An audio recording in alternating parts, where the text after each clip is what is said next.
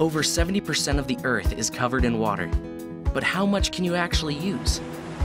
I think you'll be surprised, but only 2.5% of the Earth's water is fresh water, and only 0.3% of this is clean and accessible for humans because water is locked in ice, underground, and in our atmosphere. Ideal water is limited, and so is soil. 30% of the Earth is covered in land, with over 7 billion people living on it. As the human population continues to grow, we are putting more pressure on our finite natural resources. In addition to supporting humans, plants and animals also depend on these precious resources. Natural resources are essential to our survival, so it's critical that we take action to conserve and protect them. If the big picture of our world doesn't inspire you to make a difference, think about the local picture. We all live downstream from someone. What they do impacts us, what we do impacts us, and it impacts our neighbors.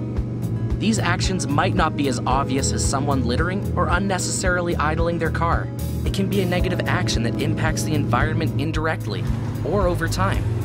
I'm not trying to point a finger at anyone, but we can all do better.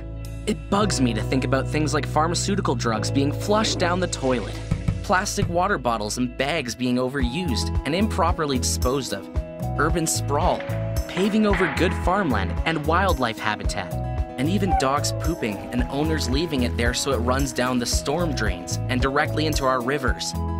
With such a limited amount of water and a limited amount of land, it's important that every single day of the year we take the time and effort to help the land, air, and water.